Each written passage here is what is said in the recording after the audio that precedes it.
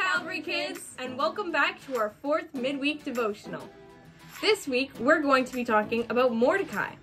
Mordecai's story is found in the book of Esther, and what we're talking about today is found in chapters 3 and 4. King Xerxes was throwing a party and he requested his wife, Queen Vashti's presence. She refused and the king was outraged. He decided that he should find himself a new queen so his men gathered up all the beautiful young women and the king would decide who he wanted his new queen to be. Among these young women was a Jewish orphan named Esther. Esther's uncle was a man named Mordecai, and he took care of her because she had no parents. Now the king had an employee named Haman. Haman was very important, and everyone in the kingdom bowed down to Haman and paid him great honor.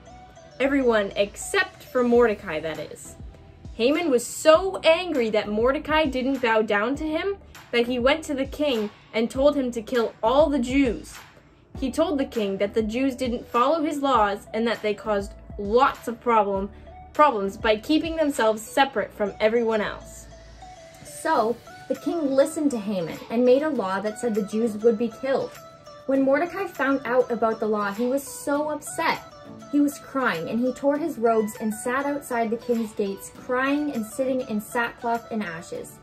Mordecai didn't understand why God would let the king make a law like this, and he couldn't see how this could be God's plan. Mordecai asked Esther to help him by changing the king's mind. So Esther held a banquet, and she told the king that she was a Jew and that Haman was trying to kill her people. The king was very angry with Haman and he killed Haman and changed the law so that the Jewish people wouldn't be destroyed. After this, Mordecai was held in high honor because of all the good things he had done for the king. This story shows us that hard times sometimes come to the people that love God. Mordecai was a Jew and he was a servant of God, but he almost lost his life. But God was always with Mordecai, and he put Esther in a position of power so that she could rescue the Jews from danger.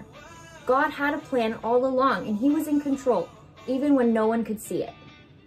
Our memory verse for this week is Esther 4 verse 14b.